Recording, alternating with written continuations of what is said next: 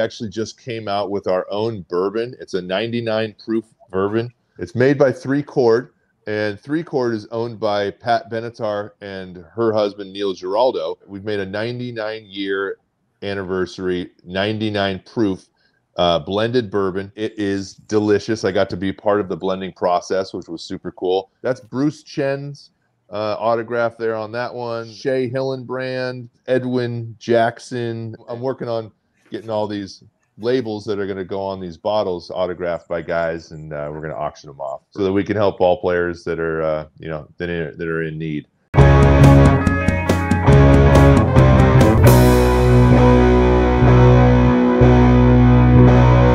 All over the place, where the fun sanity never ends. Our own bourbon, and because Why didn't you lead with this? I know, I know.